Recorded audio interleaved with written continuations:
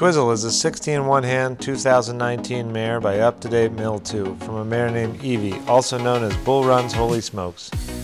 Bull Run's Holy Smokes jumped up to the Grand Prix level with Kristen Vanderveen, and Up to Date Mill 2 also jumped Grand Prix level with Ludo Philippaerts. This mare is ready to go to the horse show. She's already been to a few training shows this winter at the Jim Brandon Equestrian Center. Twizel has a lead change each way and is brave to the jumps. She's done Liverpools and combinations. This mare is a nice prospect for the future with many days under the saddle.